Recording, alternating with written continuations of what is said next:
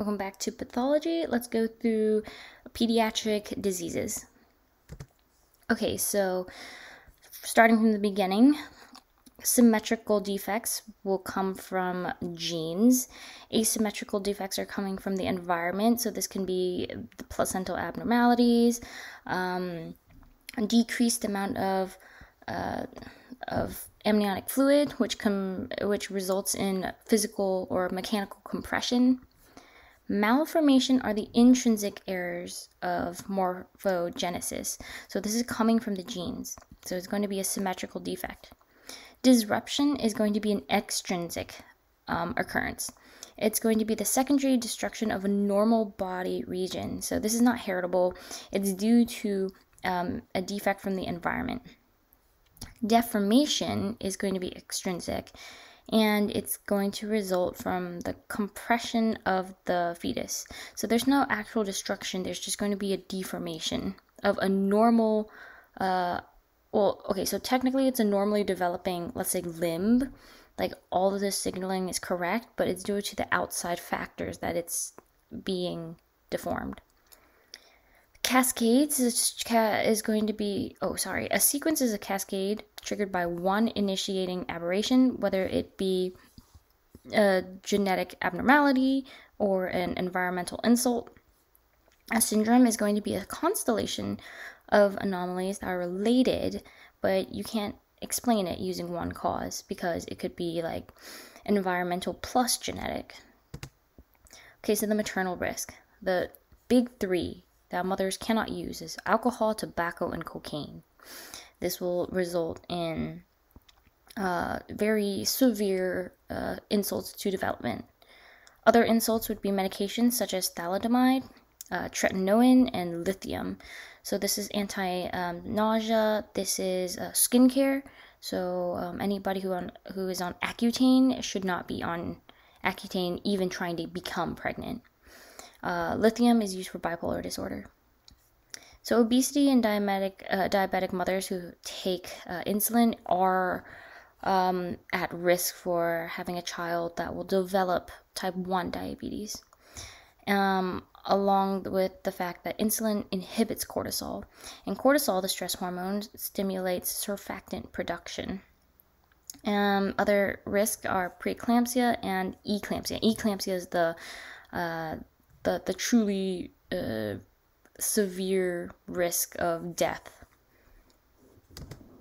So, cleft lip and palate occur when the mother is using uh, anticonvulsants, so uh, medication for seizures, and alcohol abuse.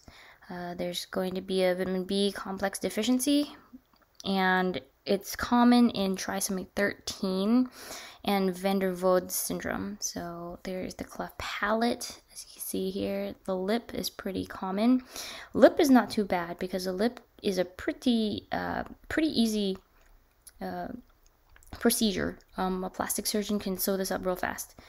The cleft palate is a little bit harder.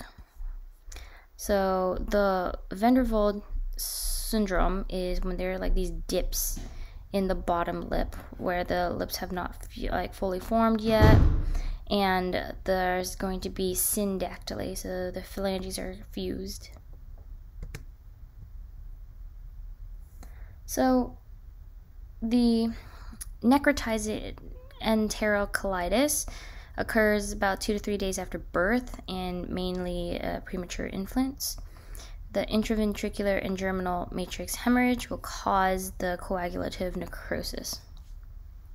So, the increased platelet activating factors will be found in serum, and the breakdown of the mucosal barrier is going to allow the translaminal migration of the bacteria and that is going to worsen the necrosis because then like you know um, the immune system kicks in and starts killing the bacteria but also uh, damaging the germinal matrix and the surrounding tissue uh, it's presented as poor feeding, bile stained vomit, bloody diarrhea, and in the later cases, it's going to be uh, respiratory distress with acidosis.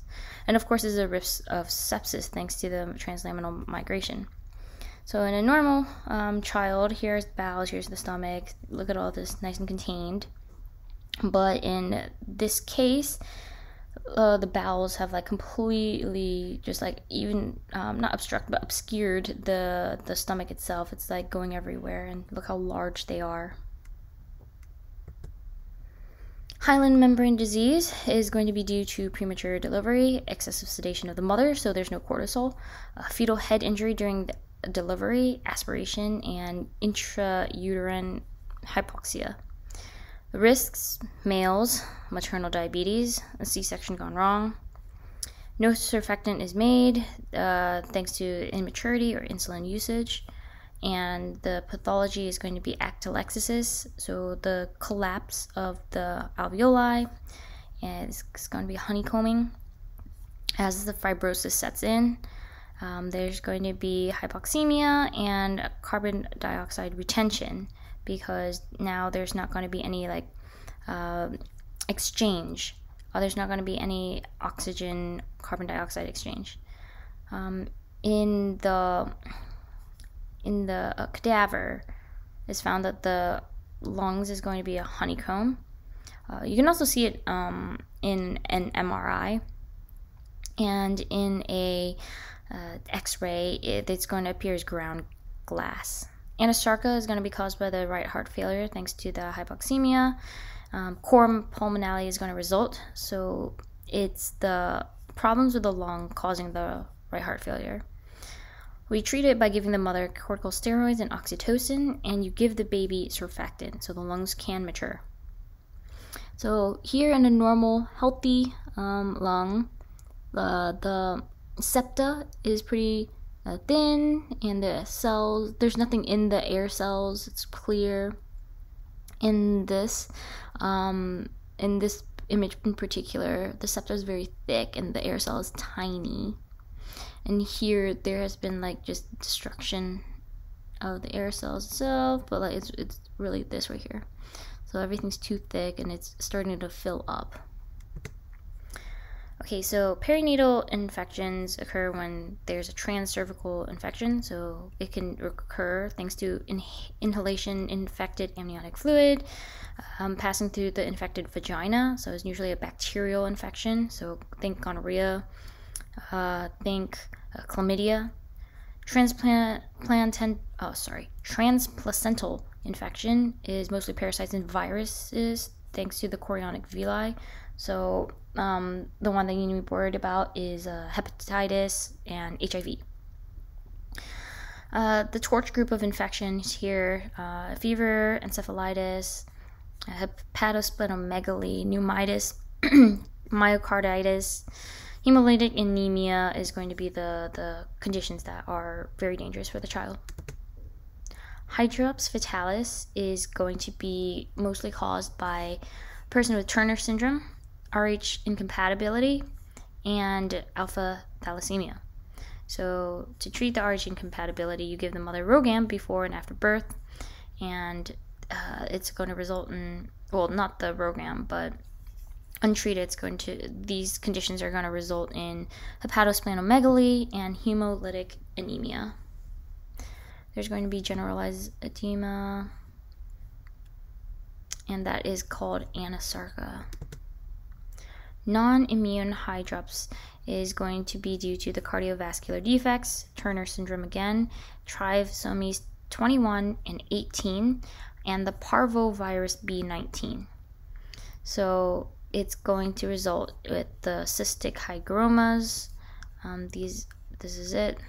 Uh, it's also known as the slap cheek disease. So some children aren't born with a cystic hygroma, but they come out with like very very red cheeks uh, there's going to be anemia, hepatosplenomegaly, jaundice, neurologic injury, and they're all uh, characterized by this hepcidin accumulation. Remember, hepcidin is going to be like res- remnants of iron uh, accumulated in macrophages. So these are also the heart failure cells. So you see that, you know there's something wrong with the heart. Heart is failing somehow. Kernicterus is going to be neonate jaundice, splenohepatomegaly, thanks to the unconjugated bilirubin. It can deposit anywhere in the body, but it's most dangerous to deposit it in the brain because they are not uh, water soluble. Uh, the liver needs to make more glucuronic acid transferase, and when the buildup is in the brain, it's not soluble, it's not removable. This is going to result in uh, severe mental retardation or death.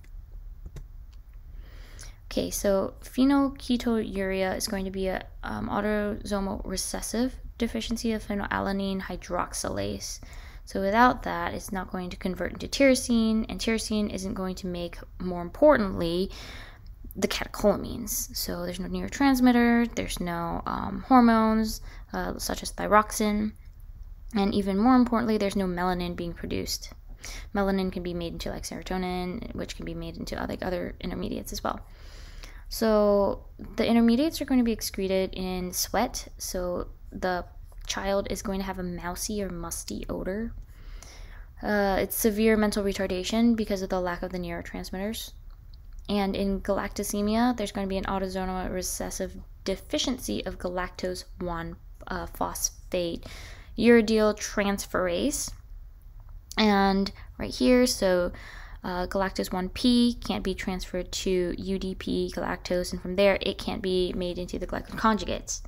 So the galactose 1 phosphate is going to be accumulating in the tissue, and it accumulates in the liver, in the eyes, and in the central nervous system. So these children, they cannot drink breast milk. They have to um, be supplemented. Cystic fibrosis is going to be a de- deletion of phenylalanine gene at position 508 on the chromosome number 7. This is going to uh, affect the cystic fibrosis transport receptor. There's going to be a loss or reduced chloride secretion in respiratory and intestinal lumen. So there's going to be um, there's not going to be water following the secretion, so the secretion is going to be very low in like water content. It's going to be very thick and mucousy. There's an abnormal transport of uh, hydrogen or hydrogen, oh sorry, bicarbonate, and it's going to result in once again the exocrine pancreatic insufficiency, cor pulmonale, infertility because the uh, sperm isn't going to be able to move through the uh, tracks uh, the ducts very well, and right heart hypertrophy. There's going to be death from opportunistic infections. Uh, sudden infant death syndrome uh, is the etiology is unknown, but we know the risk is uh, in males. Smoking during your pregnancy, premature delivery, and more importantly, letting your child sleep on their side and stomachs. So you have to remember to put them on their back. So it's back to sleep.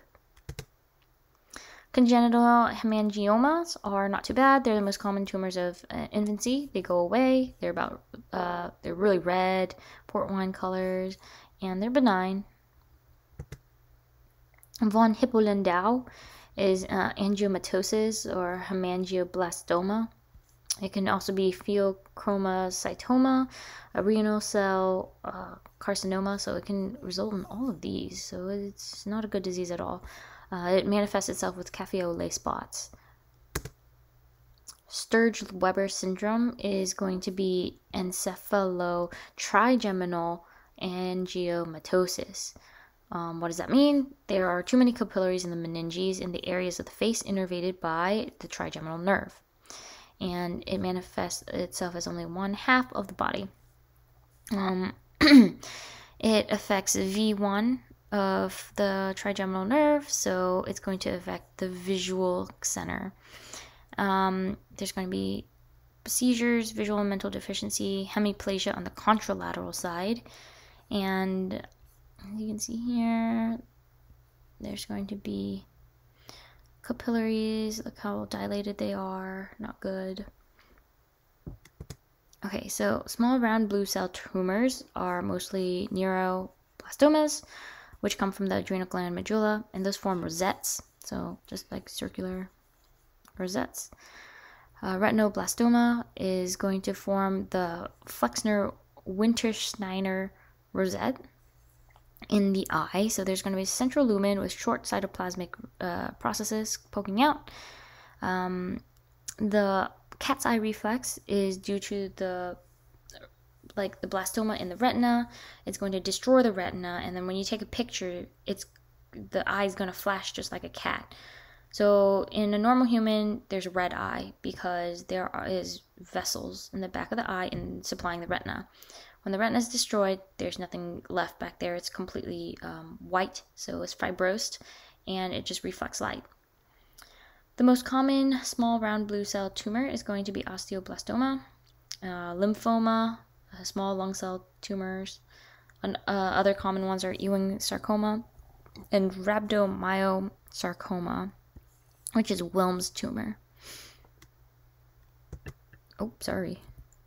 So a neuroblastoma is going to be uh, a, is going to be a tumor of the neurons, particularly the um, myelin.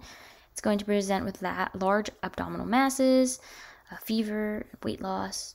There's going to be bowel and bladder dysfunction, ecchymosis, uh, cutaneous met- metastasis, unfortunately, so it's going to spread through the skin, and it's unfortunately known as the blueberry muffin baby because um, the child will have like you know a large abdomen so that's the muffin top and these spots can be blue so they produce catecholamines and there's elevated urine levels of van- vanillomandelic acid and homovanillic acid just like pheochromocytoma